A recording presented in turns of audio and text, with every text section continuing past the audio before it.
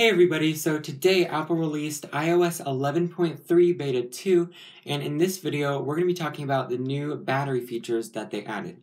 Now there were a couple of other features they added in this update, but in here we're just going to be talking about the battery features.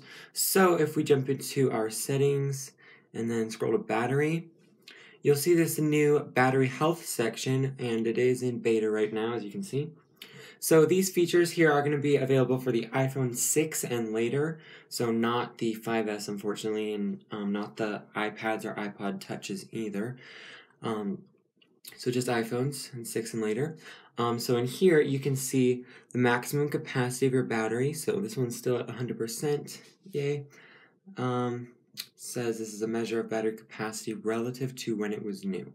Lower capacity may result in fewer hours of usage between charges. And then we also have this peak performance capability.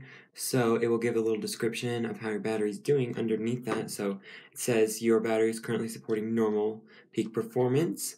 Um, sometimes, like if you just experienced an unexpected shutdown, it will report that here.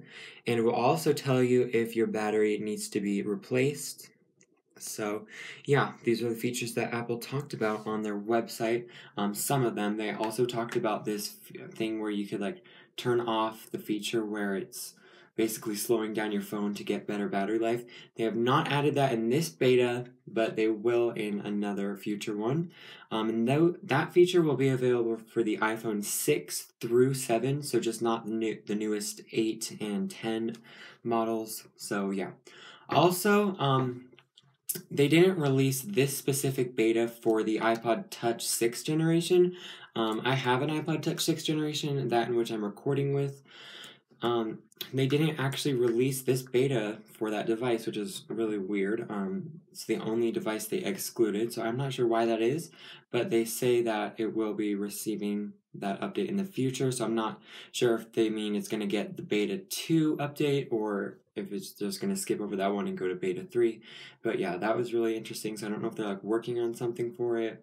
Um, the battery life on the iPod Touch 6th generation on iOS 11 has been really bad, like really, really bad. Um, it was never good to begin with in like iOS 10, but iOS 11 was even worse. Like, I kid you not, it lasts maybe like an hour, like maybe on a charge, so it's not good.